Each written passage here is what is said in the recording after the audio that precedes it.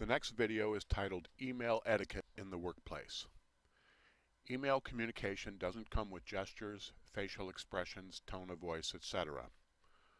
So messages are often misunderstood. Also, many people get hundreds of emails every day. This video offers some guidance for writing email that gets read and is understood the way you meant it. Here's the question I want you to answer. What's the first rule for forwarding email?